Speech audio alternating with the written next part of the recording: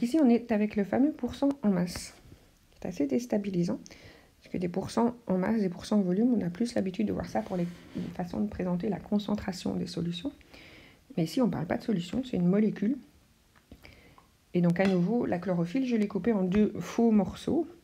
Donc, elle a. Euh, oui, on va lire l'énoncé. La chlorophylle présente dans les cellules de certaines plantes essentielles au processus de photosynthèse contient approximativement 3% en masse de magnésium. Si chaque molécule de chlorophylle contient un atome de magnésium, quelle est la masse molaire de la chlorophylle Donc j'ai coupé ma chlorophylle en un atome de magnésium et le reste. Et je sais que mon magnésium représente 3% en masse. Et ma chlorophylle 100% en masse.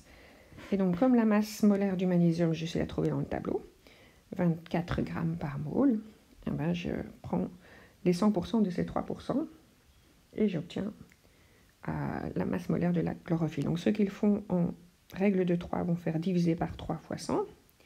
Et ceux qui font, euh, pas la règle de 3, mais les 3, les 100% de 3%, c'est le même calcul. Et donc on prend 24 divisé par 3, ça fait 8 fois 100, ça fait 800. Donc la masse molaire de la chlorophylle est de 800. si on n'est pas déstabilisé par les pourcentages en masse, ce n'est pas compliqué, mais il fallait rentrer dedans. Alors, on passe à...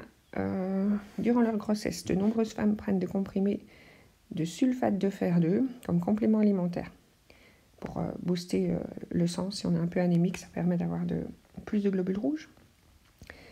Et donc, on nous donne une masse et il faut transformer ça en nombre d'ions. Donc, ça, c'était un peu comme en 2017. Et donc, on a la masse. Et pour trouver le nombre de moles, on doit utiliser la masse molaire entre masse et mole et on divise des masses, on ne peut pas les multiplier. Et donc on regarde que le fer c'est 56, le soufre c'est 32 et 4 fois 16, ça fait 64. Et donc on est à 152. On se rend compte que 304 c'est 2 fois 152. On n'oublie pas de se scotcher à son chiffre 1000. Et donc 304 c'est 0,304 grammes. Et on voit que le 2 donc, doit venir à cet endroit-ci, 2 fois 152, et donc le 2 est bien dans cette colonne-là. Alors ça, c'est le nombre de moles du sel, et ce qui nous intéresse, c'est le nombre de moles d'ion fer 2, et donc on fait bien attention, mais s'il n'y avait pas de piège, comme on a un sel, on a un ion, parce qu'il n'y a pas d'indice ici, s'il y avait eu un indice, euh, on aurait peut-être dû multiplier ou des choses comme ça. Et donc la même quantité d'ion que de sel, et donc on a toujours 0,002 moles. Pour le nombre d'ions et non plus le nombre de moles d'ions, on multiplie par le nombre d'Avogadro.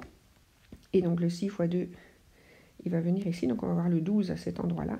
Et il faut faire reculer deux fois le chiffre, donc le 10, 23 devient 10, 21 pour arriver à cet endroit-ci. Attention de ne pas aller trop loin. Et donc 10, 21, c'était la réponse C. Ok, alors on est parti pour à nouveau rechercher euh, quelle est la nature d'un morceau de molécule. Donc 0 du mole d'un phosphate alcalin en masse de 42,4 grammes, quel est l'élément alcalin inconnu. Donc il faudra chercher dans la colonne des alcalins, la première colonne, la colonne 1A, et donc euh, valence 1. Et donc ça c'est un peu embêtant parce qu'un phosphate, la phosphate a une valence 3 et les alcalins ont une valence 1, donc il faudra vraiment se rendre compte, ça c'est presque de la nomenclature, euh, qu'il va falloir prendre trois métaux dans ce phosphate d'alcalin. Et donc on fait comme d'habitude, on a la masse, le nombre de moles. Pour obtenir la masse molaire, on divise la masse par le nombre de moles. Comme c'est divisé par 0,2, on fait x5, on obtient 212. On retire ce qui ne nous intéresse pas, le phosphate, 31 plus 4 fois 16. Donc on retire, on retire 95 à 212, il nous reste 116. 117. Donc on cherche dans la colonne des alcalins, il n'y a personne qui a ce poids-là, on se dit, oh, oh, quelle horreur. Mais en fait, ce qui s'est passé, c'est qu'il y a ce fameux 3. Et donc, euh, la masse qu'on a ici, quand on a retiré le phosphate, c'est la masse de 3M. Donc, pour avoir la masse de M, il faut diviser par 3. Et 117 divisé par 3, ça fait 39. Et ça, c'est bien la masse du potassium. Donc, attention de ne pas aller trop vite et de bien tenir compte des valences quand on a des sels comme ça.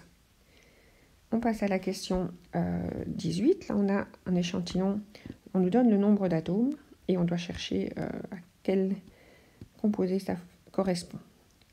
Et donc, quand on a un nombre d'atomes, pour retrouver le nombre de moles, c'est le calcul à l'envers. Au lieu de multiplier par 6, 10, 23, on divise par 6, 10, 23. Et donc quand on a 2 au lieu de 6, on a un tiers de moule, 0,33 moules. Et après, on regarde pour tout ce qu'on nous propose.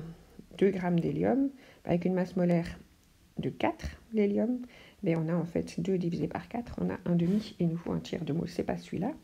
L'oxygène, on en a 8 grammes. La masse molaire du dioxygène, c'est 2 fois 16, 32. On a avec un quart, c'est toujours pas ça.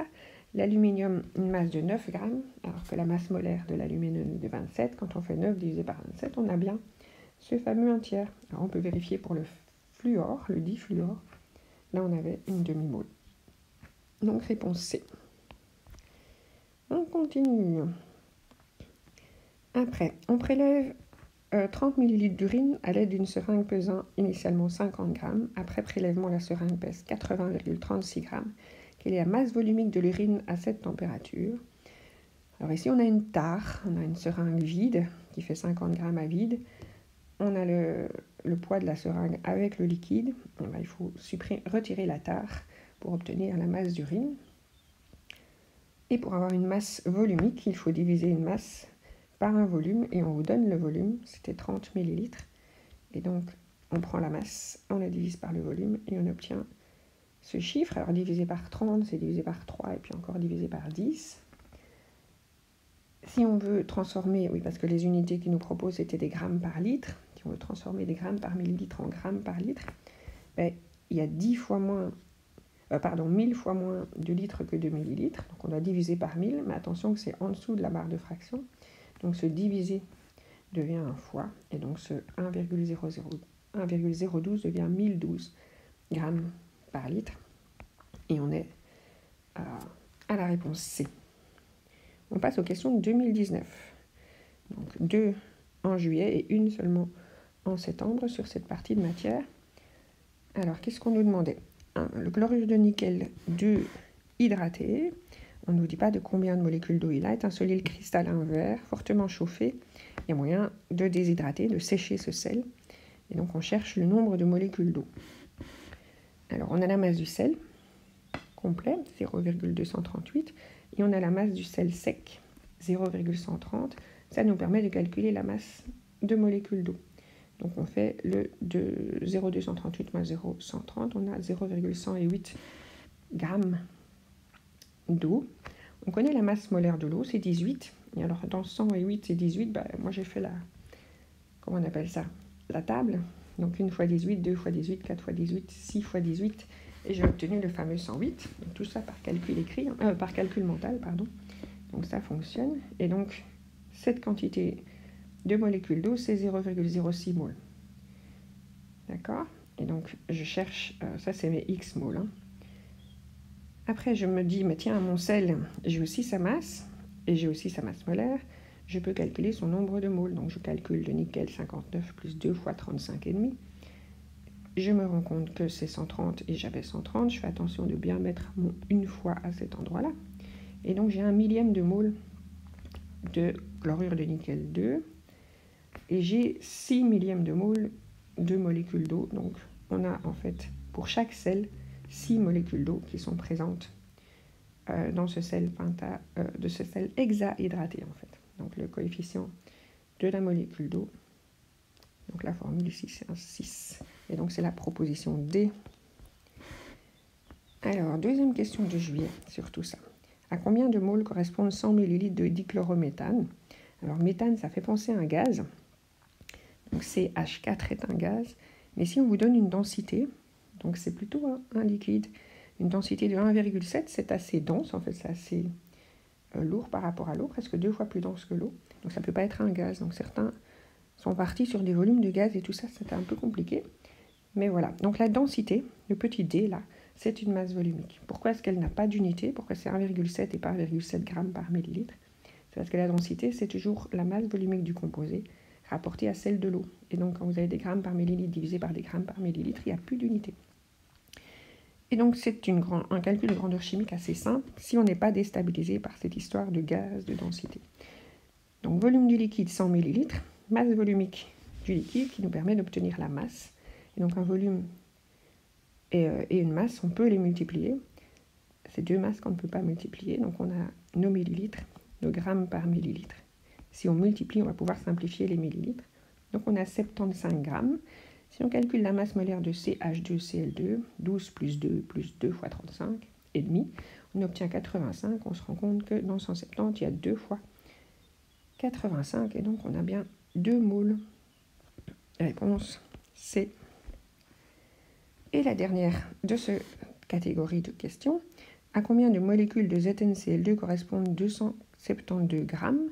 Donc on a une masse, on a la formule, on calcule la masse molaire, 65 plus 2 fois 35,5, ça nous fait 136. Dans 272, il y a 2 fois 136, donc on a 2 moules. On multiplie par le nombre d'Avogadro. Alors ici, d'habitude, on utilise 6 10 exposant 23, mais dans les réponses qu'on nous propose, il y a plus de virgules, et donc en fait, la, la valeur du nombre d'Avogadro sans la simplifier, c'est 6,022, mais on avait l'ordre de grandeur quand même. Hein. Alors, on multiplie le nombre de moles par le nombre d'Avogadro pour obtenir le nombre de molécules. Et donc 2 fois 6, 12. Et il faut déplacer euh, la virgule qui est ici de 1 vers la gauche. Donc ça devient 24 à la place de 23. Et donc on est à la réponse B. Voilà pour cette partie de matière. Il y a beaucoup de questions sur cette partie-ci. Je crois que c'est la plus riche en fait.